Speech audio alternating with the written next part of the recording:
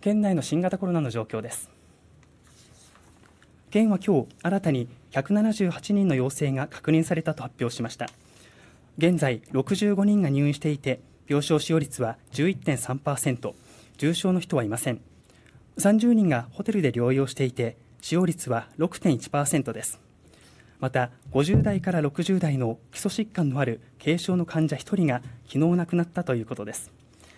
年代別では10歳未満が33人10代が23人20代が22人40代が29人などとなっています。